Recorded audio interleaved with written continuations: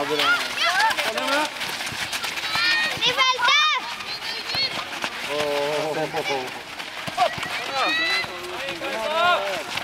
Dere sikre bak, inn i midten der, Katarina!